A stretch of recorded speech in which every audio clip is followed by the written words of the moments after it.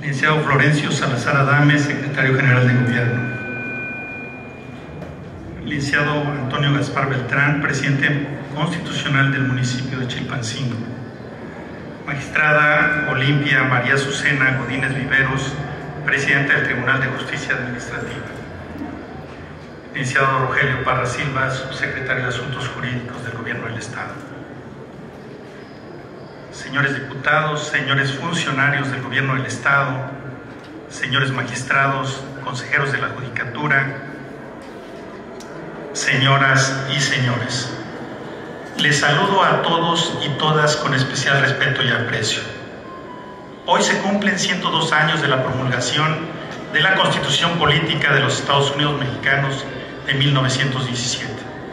Sin duda, un acontecimiento fundamental para la vida política, social y jurídica de nuestra nación y para los que la conformamos. Conmemoramos hoy 102 años desde que se sentaron las bases de una nueva vida institucional, democrática y republicana, producto de los esfuerzos de una sociedad que fue capaz de organizar la vida pública y darse un nuevo marco jurídico fundamental, en el que se condensan sus más caros anhelos y aspiraciones. Hemos transitado ciertamente por caminos sinuosos en busca permanente de nuevos y mejores niveles de bienestar colectivo y personal. Pero lo hemos hecho en el marco de las instituciones que nos hemos dado a partir de nuestro régimen constitucional. Podemos decir que, a pesar de todo y en todo, nuestras instituciones son y seguirán siendo fuertes. Y qué mejor que celebrar estos 102 años de la promulgación del Pacto Fundamental de los Mexicanos en el marco de esta semana jurídica instituida justamente para conmemorar tan importante acontecimiento. El Poder Judicial del Estado se suma con convicción y responsabilidad al programa de esta semana jurídica que con este acto marca el inicio de un importante conjunto de actividades encaminadas a analizar y reflexionar en torno de nuestra Carta Fundamental. Por ello, me parece que este es un ejercicio necesario y siempre oportuno. Nos permite recordar quiénes somos, de dónde venimos, hacia dónde vamos y cómo podemos hacerlo. La Constitución es la, columna que cimenta, fortalece y da vida a las aspiraciones, ideales y metas de cualquier sociedad.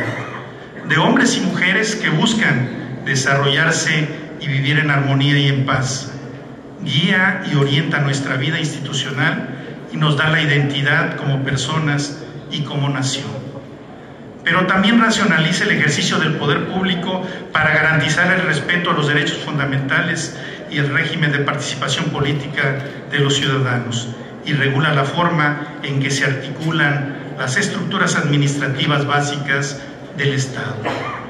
La preservación y consolidación del Estado de Derecho pasa necesariamente por el respeto y cultivo de los más altos principios y valores contenidos en nuestra Carta Fundamental.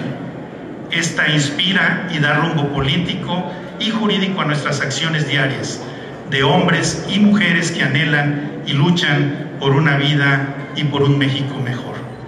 Por ello, a 102 años de la promulgación de la Constitución Política de los Estados Unidos Mexicanos de 1917, sin duda la mejor forma de homenajearla es leyéndola, analizándola, reflexionándola, pero sobre todo respetándola.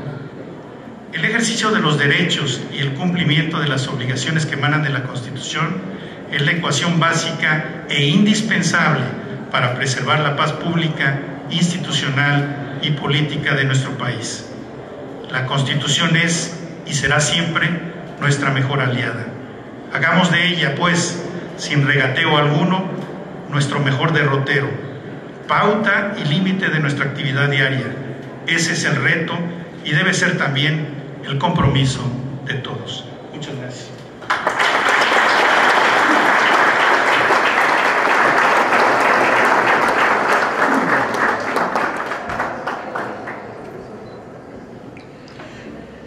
Inauguración de la Semana Jurídica 2019.